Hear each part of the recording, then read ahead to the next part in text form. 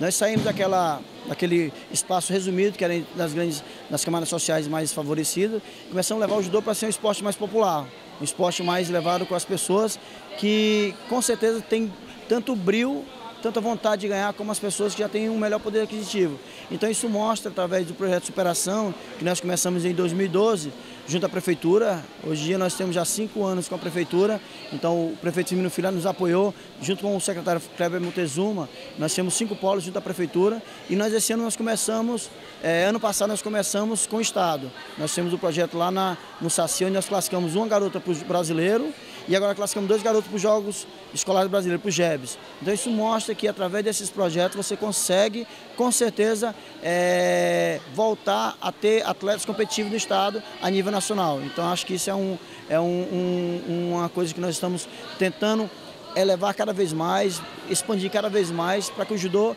deixe de ser somente esporte de pessoas com, grande, com poder aquisitivo bom.